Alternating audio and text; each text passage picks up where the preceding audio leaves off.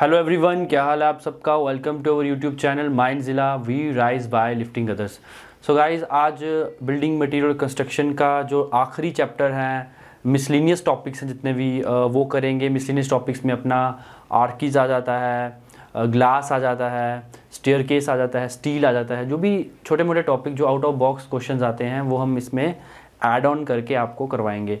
तो बेसिकली इसको भी हम दो पार्ट्स में करेंगे और इस वीडियो को अच्छे से देखना। इसमें मैक्सिमम जो क्वेश्चन हैं, वो आपको नहीं मिलेंगे। वो आपको कहीं नोट्स में नहीं मिलेंगे, कहीं बुक में नहीं मिलेंगे, ठीक है?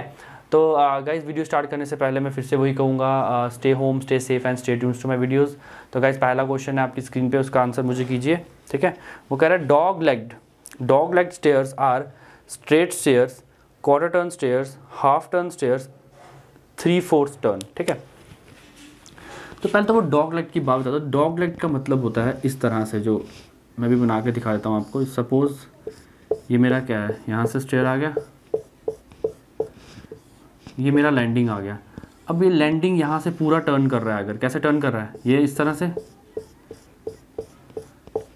तो ये भी लैंडिंग ये भी लैंडिंग तो मतलब ये क्या बना रहा है? वन एटी डिग्री का टर्न कर रहा है। हाफ़ टर्न यहाँ से घूम के फिर दोबारा आ रहा है। तो मतलब ये मेरा कौन सा हो गया? डॉग लेग्ड स्टेयर्स अब एक उसने ऑप्शन में स्टेयर स्टेयर्स भी दिया स्ट्रेट स्टेयर्स भी दिया। स्ट्रेट मतलब आपको पता लग ही गया होगा स्ट्रेट मतलब बिल्कुल सीधा। ये इस तरह से। अगर इस तरह से कोई स्टेयर रहता है, ये इस तरह से लैंडिंग आ जाता है तो ये आता है अपना स्ट्रेट स्टेयर्स स्ट्रेट स्टेयर्स ठीक है? तो गाइज़ ऐसा है कि अभी स्ट्रेट स्टेयर हो गया। एक और आपको दिया इसमें क्वार्टर टर्न क्वार्टर टर्न मतलब 90 डिग्री ये सपोज़ ये मेरा स्टेयर जा रहा है, यहाँ से। अब ये क्या कर रहा है? 90 डिग्री टर्न कर रहा है। ये। तो ये मेरा यहाँ से आ गई स्टेयर्स इसकी यहाँ से आ गई तो ये अपना जो इसकी लैंडिंग आ गई तो मतलब ये क्या कर रहा है? यहाँ से टर्न कर रहा है तो इसको कहते हैं हम क्वार्टर क्वार्टर टर्न स्टेयर्स ठीक है? तो ये आपको तीन टाइप की स्टेयर्स मैंने आपको बता दी। अभी उसने क्वेश्चन में क्या पूछा था? क्वेश्चन पूछा डॉग लेग जैसे डॉग लेग की बात की दैट मीन्स वो क्या है? हाफ़ टर्न स्टेयर ठीक है? तो option number C is the right answer for this question ठीक है? तो नेक्स्ट क्वेश्चन देखिए आपकी स्क्रीन पे। देखो, वो कह रहा है लिंटल इज़ ए. लिंटल क्या होता है? वो पूछ रहा है, लिंटल क्या है? शॉर्ट कॉलम है, शॉर्ट बीम है, शॉर्ट स्लैब है, या नन ऑफ़ दीज है. तो अगर मैं लिंटल की बात करूँ, लिंटल क्या होता है? अपने डोर्स के टॉप पे रोटेट करता है दीवार के ऊपर, जहाँ पे अपना डोर होता है। सपोज़ मैं बताया था, सपोज़ ये मेरा क्या है? एक रूम बता दिया मैंने, सपोज़ यहाँ पे मेरा ये मेरा डोर है, ठीक है, इस इस कमरे को। तो मतलब मेरा जो लिंटल है, वो यहाँ पे पूरी दीवार के अंदर, यहाँ पे क्या करेगा? पूरा करेगा। क्या करता है? इसका मेन मकसद क्या होता है?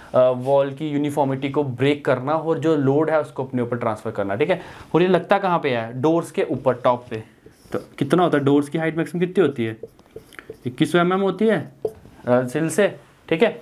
तो यहाँ पे लिंटल मूव करता है। तो वो कह रहा है कि ये क्या है? बीम है। तो ऑब्वियसली बताइए बीम है? कौन सा बीम है? शॉर्ट बीम है। तो option number A is the right answer for this question तो ये लिंटल क्या होता है? एक शॉर्ट बीम होता है, ठीक है? नेक्स्ट क्वेश्चन देखिए आपकी स्क्रीन पे।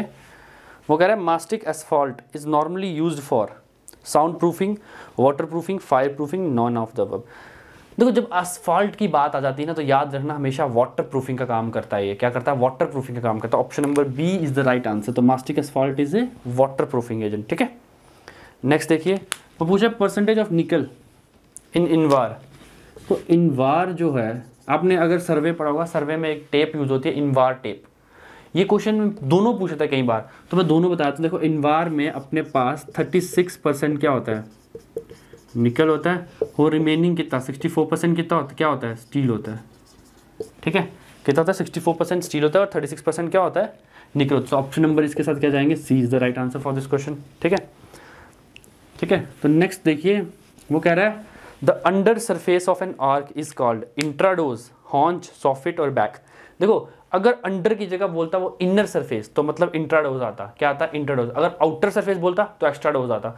अब उसने क्या बोला? Under the surface of suppose ये मेरी आर्क है। वो कह रहा है, इस आर्क के अंडर इसके नीचे की सरफेस को, इस जगह को क्या कहेंगे? इसको कहते हैं सॉफिट क्या कहते हैं? सॉफिट तो ऑप्शन नंबर क्या आएगा? C C is the right answer for this question soffit ठीक है? तो नेक्स्ट देखिए। देखो, बहुत ही ईजी क्वेश्चन है। आपको डायरेक्ट हिट लगेगा इसमें। पेपर में, ठीक है? तो density of steel lies between 6.5 to 7.8 seven point five to eight point zero five seven five point five to six point eight seven point nine to nine point तो density अपनी क्या आएगी? बी ऑप्शन आएगा इसमें। Option number B is right answer seven point five to eight point zero five gram per centimetre cube ठीक है? तो next देखिए।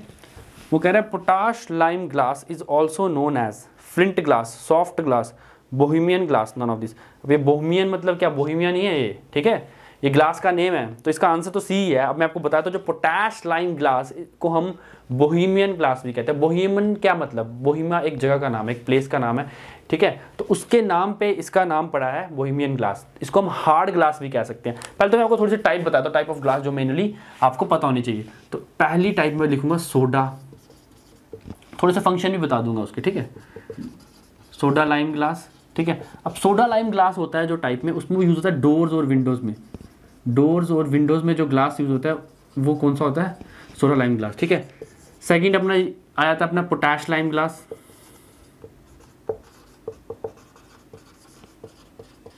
ठीक है? पोटैश लाइम ग्लास यूज़ होता है अपना जो बल्ब बल्ब वगैरह इलेक्ट्रिकल अप्लाइंसेस अप्लाइंसेस में जो भी ग्लास यूज़ होता है potash lime glass third one potash lead glass ठीक है, ये देखना, इसमें डिफरेंस है. अब जो लेड ग्लास है, वो ऑप्टिकल ग्लासेस जैसे अपने स्पेक्स में जो ऑप्टिकल इंस्ट्रूमेंट्स में, ठीक है? तो ऑप्टिकल ग्लासेस ठीक है? फोर्थ आता है borosilicate glass borosilicate glass देखो बोरो सिलिकेट ग्लास आपको मिलेगा लेबोरेटरीज में, ठीक है? माइक्रोवेव में लेबोरेटरीज इंस्ट्रूमेंट में। जो लेबोरेटरीज के इंस्ट्रूमेंट्स होते हैं उसमें, ठीक है? एक अपना एंड में लिख देते हैं हम कॉमन ग्लास जो नॉर्मली सबके लिए कॉमन ठीक है? एक होता है कॉमन ग्लास तो कॉमन ग्लास अपना होता है किचन आइटम्स में, यहाँ पे किचन में यूज़ होता है, जैसे किचन वेयर्स में ग्लास जो किचन में इंस्ट्रूमेंट यूज़ होता है ठीक है? जो किचन में यूटेंसिल्स होते हैं ग्लास के ग्लास वेयर्स में, ठीक है? तो ये पाँच टाइप के ग्लास मैंने आपको बता दिए, ठीक है? अब उससे पूछा, पोटैश लाइम ग्लास? क्या पूछा, पोटैश लाइम ग्लास? तो पोटैश लाइम ग्लास को हम क्या कहते हैं? Bohemian glass. अब इसको एक और चीज़ कहते हैं, हार्ड ग्लास। अगर वो हार्ड ग्लास बोल देता तो भी यही आंसर होता, ठीक है? तो अभी कौन सा है? C option is the right answer for this question देखो, मैं आपको फिर से बता रहा हूँ, मैं जब एक ऑब्जेक्टिव कराता हूँ ऑब्जेक्टिव कराने, कराते टाइम मैं क्या करता हूँ? पूरी एक्सप्लेनेशन भी करवाता हूँ उसकी, सारी की सारी क्या करता हूँ? एक्सप्लेनेशन को भी करवाता हूँ, ठीक है? जो ज़रूरी हो, ठीक है? तो नेक्स्ट देखिए। नेक्स्ट वो कह रहा है the pitch of stairs should not be less than 90 degree 25 degree forty five degree and forty degree suppose यहाँ से ये मेरी हॉरेंटल सरफेस है, यहाँ से मैंने स्टेयर्स बनाई हैं। ऐसे बनेगी ना स्टेयर ये ये इस तरह से मैंने स्टेयर्स बना दी। ठीक है? वो कह रहा है, ये जो पिच है, ये जो पिच मतलब क्या स्लोप जो मैं प्रोवाइड कर रहा हूँ, ये कितनी होनी चाहिए? उससे क्या पूछा मतलब नॉट इससे कम नहीं होनी चाहिए। पूछा, इससे कम नहीं होनी, इससे कम नहीं होगी, ज़्यादा हो सकती है, पर कितनी कम? पच्चीस परसेंट कितनी होनी चाहिए? सॉरी, पच्चीस डिग्री परसेंट नहीं आएगा, सॉरी ट्वेंटी फाइव डिग्री। मतलब पच्चीस डिग्री से हमारी क्या होनी चाहिए? कम नहीं होनी चाहिए। तो ऑप्शन नंबर कौन सा B B is the right answer for this question ठीक है? अगला क्वेश्चन देखिए। अगले क्वेश्चन में वो कह रहा है the vertical distance between the springing line and the highest point of the inner curve and of arch is known as मैं इसको डायग्राम से समझाऊँगा, ठीक है? अगर मैं चाहता तो ऐसे ही बता देता पर मैं आपको डायग्राम से समझाऊँगा। थोड़ा सा ईजी हो जाएगा, ठीक है? एक लाइन होती है यहाँ पे, इसको कहते हैं स्प्रिंगिंग लाइन एक हॉरिजेंटल लाइन होती है इमेजिनरी इसको कहते हैं स्प्रिंगिंग लाइन उसने पूछा ये डिस्टेंस ये डिस्टेंस पूछा है. इसको हम कहते हैं राइज ऑफ़ एन आर्क ये पूछा राइज ऑफ़ एन आर्क तो rise is the right answer for this उसने पूछा है स्प्रिंगिंग लाइन से लेके highest point of inner curve ठीक है? तो वो कितना हो जाएगा? राइज ऑफ़ एन आर्क ठीक है? तो मैंने आपको बता दिया. नेक्स्ट देखिए. वो कह रहा है sea sand use in structures causes जो सी सैंड है, वो यूज़ होती है स्ट्रक्चर वो क्या क्या कर सकती है भाई? डैम्पनेस बिल्कुल कर सकती है फ्लोरोसेंस भी कर सकती है डिसइंटीग्रेशन भी कर सकती है ऑल ऑफ़ दिस मतलब कि D answer is the right answer D is the right answer for this question ठीक है? तो नेक्स्ट देखिए in mild steel the iron content is about देखो, वो कह रहा है कि माइल्ड स्टील में आयरन कंटेंट कितना होता है? तो एक जो माइल्ड स्टील में आयरन कंटेंट होता है 99 परसेंट कितना होता है? 99 परसेंट होता है, ठीक है? नेक्स्ट देखिए। वो कह रहा है which of the following material is recommend for roofing देखो रूफिंग के लिए कौन सा मटेरियल रूफिंग में आप कौन सा मटेरियल यूज़ करोगे? वो मटेरियल यूज़ करोगे ना जो आपका फायर रेजिस्टेंस हो वाटर प्रूफ हो, ठीक है? तो पीबीसी नहीं करेंगे थर्माकोल नहीं करेंगे एस्पेस्टॉस कौन सा करेंगे? एस्पेस्टॉस तो C is the right answer for this question ठीक है? तो next the exterior angle between outer face of a wall is known as turn junction quoin all of this देखो, मैं बताता हूँ, इसको एक्सप्लेन करके बताऊँगा ये क्या कह रहा है एक्सटीज एंगल आउटर फेस क्या कह रहा है। सपोज़ मेरा ये एक वॉल है। ठीक है? अब यहाँ पे मेरा जो स्ट्रेचर यूज़ हो रहा था, ये हेडर यूज़ हो रहा था, फिर स्ट्रेचर यूज़ हो रहा था।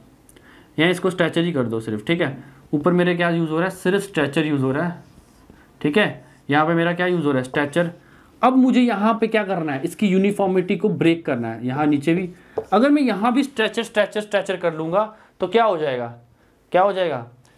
कर दूँगा तो एक एक सिमिलर बन जाएगा। वर्टिकल फोर्स को ब्रेक नहीं कर वर्टिकल सॉरी वर्टिकल जॉइंट्स को ब्रेक नहीं होगी तो मतलब वॉल गिर जाएगी। तो मैं क्या करता हूँ? यहाँ पे एक आ, क्या करूँगा? यहाँ पे क्या करूँगा? बैट प्रोवाइड कर दूँगा। बैट प्रोवाइड कर दूँगा। जब मैं इधर बैट प्रोवाइड करूँगा तो क्या होगा? फिर अगर मैं यहाँ पे क्या यूज़ करूँ? स्ट्रैचर भी यूज़ करूँ। यहाँ पे स्ट्रैचर भी यूज़ करूँ, फिर भी मेरी जो वॉल है, वो क्या होगी? यूनिफॉर्मिटी को ब्रेक होगी अब जो ये वैट यूज़ किया मैंने, इसको कहते हैं क्वेनिन क्या कहते हैं? क्वेनिन क्वेनिन मतलब क्या है? Exterior angle between outer faces of wall wall के आउटर फेस पे जो एक्सटीरियर एंगल होता है, उसको कहता है कर्नन ठीक है? वो क्या करता है? कर्नन क्या करता है? वो यूनिफॉर्मिटी को ब्रेक करता है। Vertical joints uniformity vertical joints को क्या करता है? ब्रेक करता है। तो ऑप्शन इसका क्या आएगा? C is the right answer for this question तो नेक्स्ट की तरफ़ चलेंगे। वो कह रहा है, इस series of steps without any platform और landing is called soffit flight pitch nosing ठीक है? देखो सॉफिट मैंने आपको बता दिया। सॉफिट क्या बताया? Under surface of a arch एक surface under surface of an arch फिर से बनाता हूँ डायग्राम फिर से देखना, समझना। ये मेरी सरफेस है, इसके अंडर का जो भी एरिया होगा, वो क्या होता है? सॉफ्ट फ़्लाइट इसको थोड़ा देर में बताता हूँ। पिच पिच मैंने अभी आपको बताई। पिच क्या बताई मैंने? कि ये हॉरिजेंटल है, ये इसका जो एंगल यहाँ से स्टेयर जाएँगी, ये। ठीक है? पिच हो गया। नोजिंग नोजिंग नोजिंग क्या होती है? नोजिंग होती है जो स्टेयर केस होता है, उसमें से एक आगे को पोर्शन निकला होता है प्रोजेक्शन जैसा निकाला होता है ये, इस तरह से। ये ये होता है नोजिंग आपने देखा तो स्टेयर्स के आगे एक राउंडेड शेप में क्या किया होता है? प्रोजेक्शन जैसा निकालता है, उसको कहते हैं नोजिंग अब वो कह रहे हैं सीरीज़ ऑफ़ स्टेप विद अब वो सीरीज़ में चलता गया चलता गया चलता गया, ना ही उसमें कोई प्लेटफॉर्म है, ना ही कोई लैंडिंग है तो मतलब मेरी वो क्या होगी? एक फ़्लाइट होगी। क्या होगी? फ़्लाइट उसको कहते हैं फ़्लाइट ठीक है? तो फ़्लाइट कौन सा है? B is the right answer for this question next चलेंगे. The property of steel is influenced maximum by यार ये तो इजी क्वेश्चन है. देखो वो कह रहा है प्रॉपर्टी ऑफ़ स्टील किससे इन्फ्लुएंस करेगी? सबसे ज़्यादा आयरन से करेगी क्या? नहीं मैग्नीशियम से करेगी क्या? नहीं. कार्बन से करेगी? सल्फ़र से. Carbon is the right answer for this question ठीक है C is the right answer for this question next चलेंगे. Bessemer's process is use for the manufacture of ठीक है? इसको बताता हूँ मैं, ठीक है? सब कुछ बताओ। इसके चारों ऑप्शन लिखूँगा मैं, ठीक है? इसके चारों ऑप्शन लिखूँगा। वो कह रहा है कास्ट आयरन एक उससे लिखा है रॉट आयरन ठीक है? थर्ड क्या है? पिग आयरन है। ठीक है? एक और है। फोर्थ क्या है? स्टील है। स्टील हाँ। तो ये उल्टा हो गया थोड़ा ऑप्शन कोई दिक्कत नहीं है। मेरे को सब समझाने के लिए करना है आपको। अब इसमें से दो क्वेश्चन पेपर में आते ही आते हैं, बहुत बार आ चुके हैं। वो पूछता है प्यूरेस्ट फॉर्म ऑफ़ आयरन कौन सा? है प्यूरेस्ट फॉर्म ऑफ़ आयरन वो पूछता है क्रूडेस्ट फॉर्म ऑफ़ आयरन देखो, मैंने दोनों करवा दिया। अगर वो पूछेगा प्यूरेस्ट फॉर्म ऑफ़ आयरन तो वो क्या wrought iron crudest form of iron वो क्या पिग आयरन तो अभी वो क्या बोल रहा है? बेसमस प्रोसेस बेसमस प्रोसेस कौन सा है? किसकी मैनुफेक्चर में काम आता है वो स्टील की मैनुफेक्चर में काम आता है ऑप्शन नंबर क्या है? Steel C is the right answer steel कहाँ पे है? सी ऑप्शन पे है। तो C is the right answer for this question अब वो कह रहा है वन क्यूबिक अगला क्वेश्चन देखिए। आंसर करिए इसका। बहुत ईजी है, आना चाहिए।